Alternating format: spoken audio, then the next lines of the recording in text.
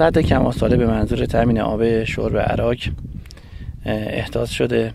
حجم مخزن سد کم ساله در حال حاضر در حدود 67 میلی متر مکعب هستش. نسبت به سال قبل که در حدود 91 میلی متر مکعب بوده ما 24 میلی متر مکعب کاهش سطح مخزن داریم.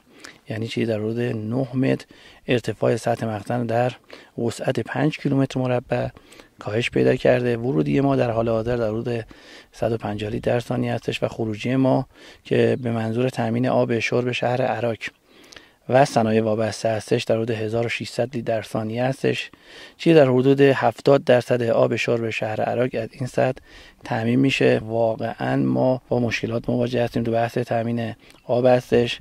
پاییز یا زمستون پیش مناسب نیستش.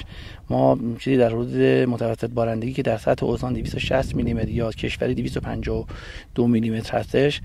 پارسال نزدیک 40 درصد هستش؟ کاهش نزولات جوی یا بارش داشتیم.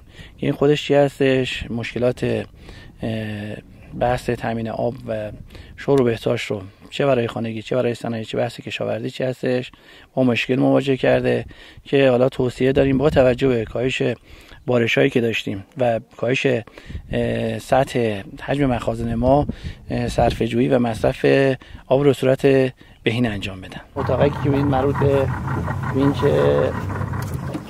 تخلیه آب تحتانی سد کماساله هستش کنارش یه اشل هستش که اندازه‌گیری سطح هوا میده. الان رقمی که قرائت کردید چی در حدود 1852 ممیز 40 هستش چی در حدود 8 متر و 70 سانتی متر نسبت به سطح اولیه‌ای که آب سرریز می‌کنه ما کاهش حجم داریم. در سطح 5 کیلومتر مربع.